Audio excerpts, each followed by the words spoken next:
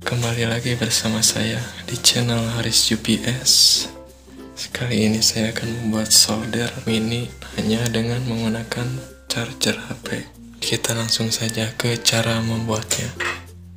Kayu bekas seperti ini. Ini sudah di lubang tengahnya. Ini kabel tembaga agak besar. Ini kabel casan ya yang sudah dipotong. Ini elemen bekas hair dryer. Ini seperti ini kawatnya. Pertama-tama kita kupas dulu bagian kabel ini. Kita ambil kawatnya.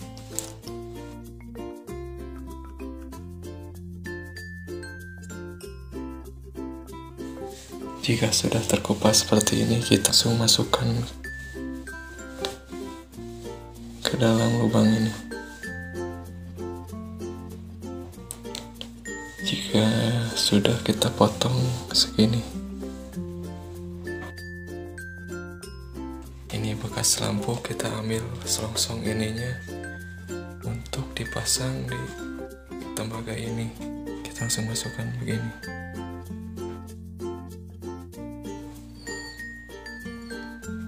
Setelah itu kita ambil kawat elemen ini, tarik luruskan. Seperti ini lalu kita lilit. Kira-kira 6 lilitan. Jangan terlalu panjang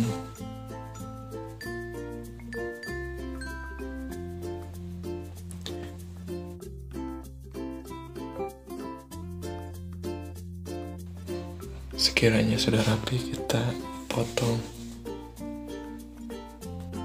Setelah begini kita langsung pasang kabel USB ini untuk disambungkan ke kawat tadi.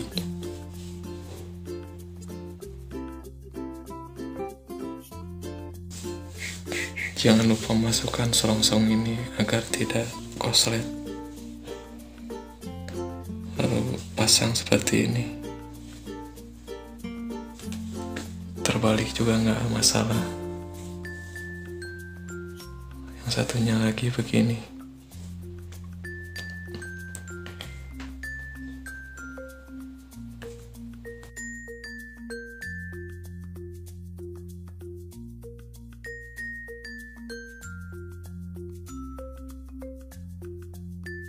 Setelah begini kita langsung isolasi atau lakban supaya kuat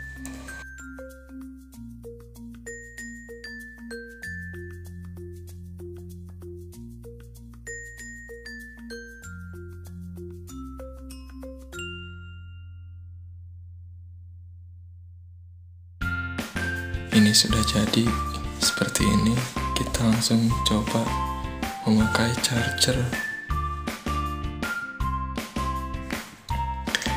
Langsung kita tes apakah panas atau tidak.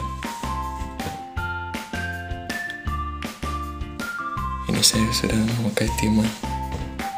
Kita tes. Nah ini sudah panas Buh, mantap. Kita tes pakai kabel.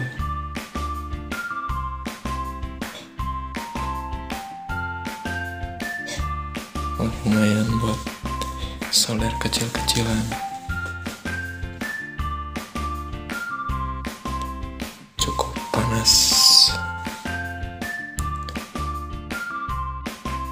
kita coba pasang kabel ke PCB ini apakah mampu?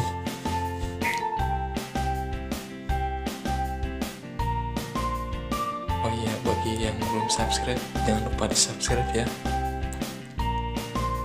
Ya lumayan lah. Oke mungkin segini dulu. Assalamualaikum warahmatullahi wabarakatuh